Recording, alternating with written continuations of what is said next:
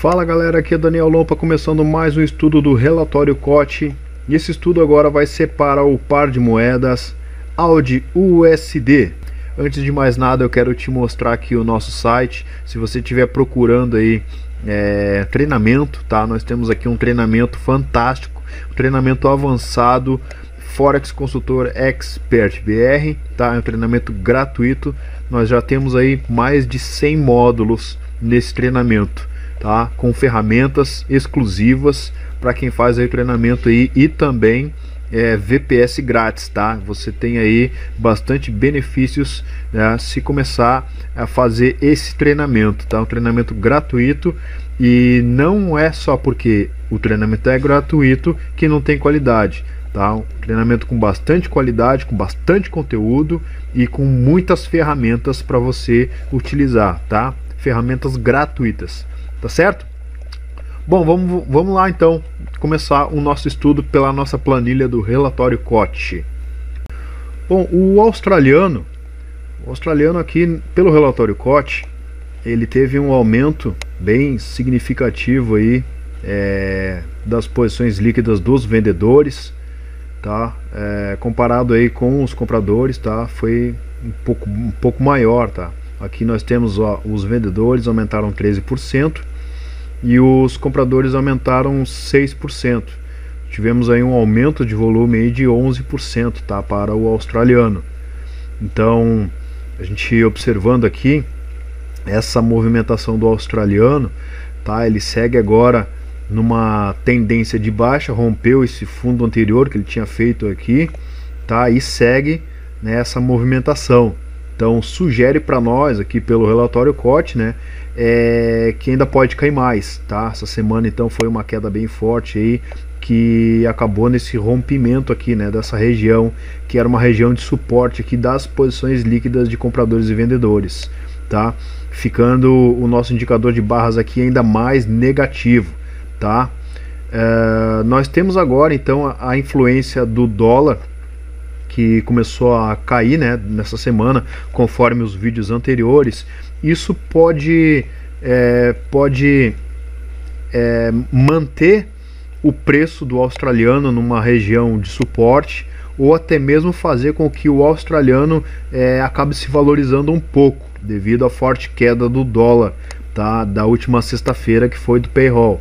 Vamos dar uma olhada lá no nosso índice do australiano para a gente poder estudar melhor isso.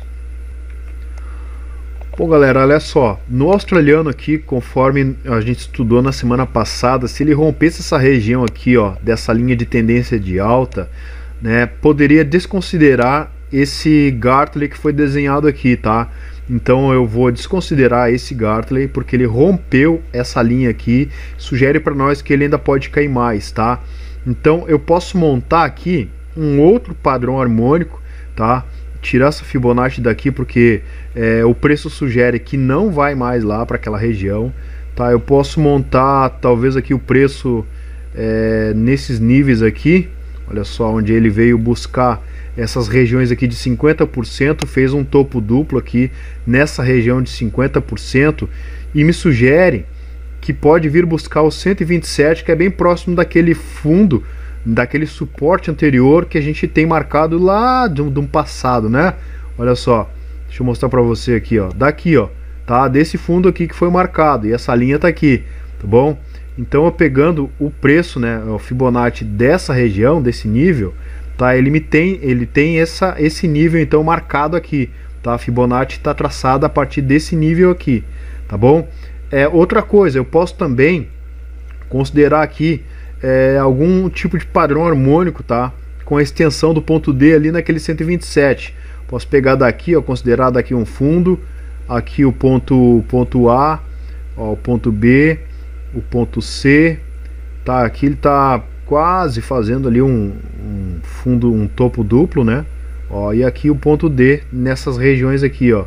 Então vou mudar esse padrão harmônico aqui, tá bom? E vou deixar ele marcado assim porque ele está coincidindo aqui o ponto D dele exatamente aqui numa região de Fibonacci, tá? De extensão de 127, tá? Olha só, tá? Então ele tá com essa configuração aqui, onde que o preço pode buscar tá? Bom, a gente sabe que tem agora essa queda do dólar, tá? E ele pode segurar um pouco nessa região aqui. O australiano ainda tende a cair mais, tá? Ele pode não suportar aqui nessa região desse fundo aqui, tá? E continuar a sua queda. Como também ele pode segurar aqui, né? E, e trabalhar um pouco nesse nível aqui, tá? Mas pelo fato dele ter feito esse rompimento aqui dessa linha de tendência de alta, tá? Eu vejo somado com o relatório COT, eu vejo mais queda para o australiano, tá? Mas vamos considerar também, vamos considerar também é, a desvalorização do dólar americano, tá? Para isso a gente vai lá na nossa plataforma de negociação. Bom, galera, aqui então na nossa plataforma de negociação nós temos a seguinte configuração: uma tendência de baixa, né, nítida tendência de baixa. Nós temos aqui o swap para venda é favorável, tá? O swap aqui é 0.83. Para ficar vendido é interessante aproveitar essa tendência de baixa, porém o preço agora vem fazendo uma correção, né? No último candle aí da sexta-feira, é, por causa do do payroll, ele teve essa valorização, deixando aqui um fundo duplo, uma região de suporte, tá? Aqui também já teve um fundo anterior, tá? Então ele está deixando essa configuração aqui de que pode é, começar uma correção. Níveis, níveis de resistência, nós temos esse topo anterior, tá? Se ele chegar nesse topo anterior aqui, a gente tem que prestar atenção se ele vai segurar e continuar a queda, tá legal? E se ele romper esse topo anterior, ele pode vir buscar esses níveis aqui, ó, que foram marcados anteriormente na semana do estudo passado, tá? Porém, ele não teve força de alcançar esse nível aqui. Vou deixar marcado aqui porque é os 50% da Fibonacci ainda continua, tá? Eu não vou desmarcar ela porque o 127 está aqui, ó, tá?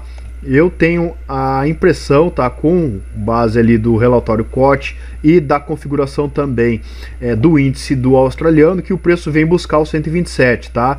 Porém, ele vai dar uma trabalhada nessa região aqui, podendo até chegar nesse nível, mas é, é para essa semana, tá?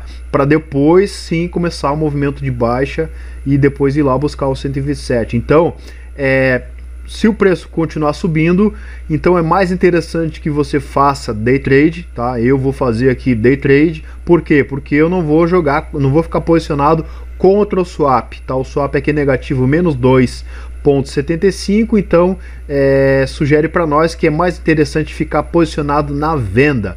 Mas para ficar posicionado na venda é interessante esperar que o preço chegue em níveis mais altos, tá? Para começar a se posicionar na venda. Como ele fez esse rompimento dessa bandeira, que coincidiu também com um padrão harmônico, né? É, do estudo passado, então ele, ele fez um pullback aqui, mas não chegou lá é, testar realmente aquela região do rompimento. Talvez esse movimento de alta seja um teste, né, do pullback lá naquela região do rompimento que ele não tinha feito ainda, tá bom? Mas vamos, vamos ficar de olho porque o australiano tá, tá, tá sugerindo para nós aí mais queda, tá? E essa queda do australiano pode puxar o preço, mesmo com o dólar caindo, o australiano ainda pode ter força de buscar aquele 127 também, tá? Então muito cuidado com o australiano nessa região onde ele tá, porque ele sugere para nós um movimento de alta, porém o australiano ainda está com é, uma possível força na queda e pode puxar o preço para baixo, tá legal? Então fica aqui esse estudo, eu espero que tenha te ajudado, tá? Até a próxima, tchau!